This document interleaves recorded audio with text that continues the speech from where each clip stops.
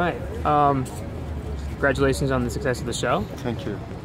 I heard that this is kind of a, a transformative, transformative uh, role for you because you had to gain weight, you had to learn Spanish. Can you tell us a little more background on that? It was probably the most difficult thing I have ever done as an actor because I didn't speak a word of Spanish before doing it, and I was 40 pounds lighter, and you know, it's a so it was a, a big transformation for me.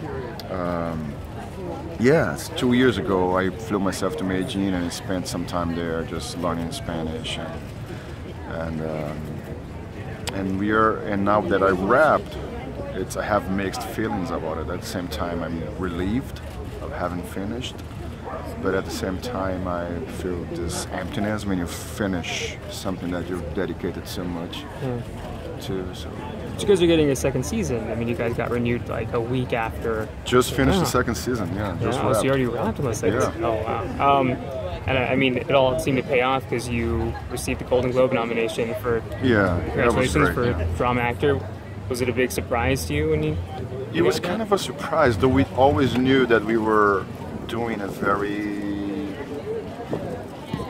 unique. I don't want to sound, sound pretentious, but I think that Narcos is a very unique, different show. Yeah. With all those, you know, it's all shot in Colombia, and it's uh, all those, the style of the show with that real footage that we use, and uh, so I thought that the show had a chance to have a nomination, but it's always a surprise. Did you guys? Do you guys feel any pressure with?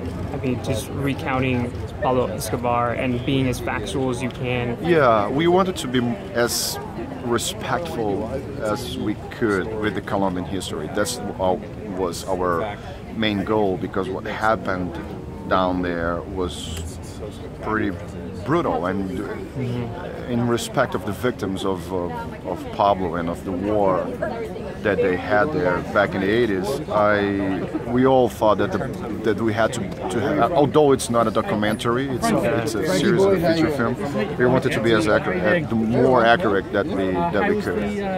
Now, this event is, is for Emmy consideration, and if you're nominated in uh, lead actor, which you have a great shot of, um, you have to submit one episode from the season to for consideration so that all Academy members can watch and decide on. Do you have a particular episode that you really liked or that you Oh, think? it's difficult. I really like the first one. Uh, they introduce the kind of show that we're doing and all the style that we are talking about. And I like the last ones, the two last ones, the ones in La Catedral. Yeah, that was a great one. Yeah. Yeah, yeah, that was great. Well, congratulations on the of the show and season two, and Thank look you. forward to seeing it. Big fan.